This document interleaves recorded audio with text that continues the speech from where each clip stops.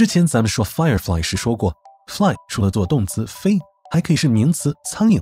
在前面加个 dragon 龙就成了 dragonfly 难道是龙苍蝇？其实啊 dragonfly 是蜻蜓。你觉得它和西方幻想世界的龙长得像吗？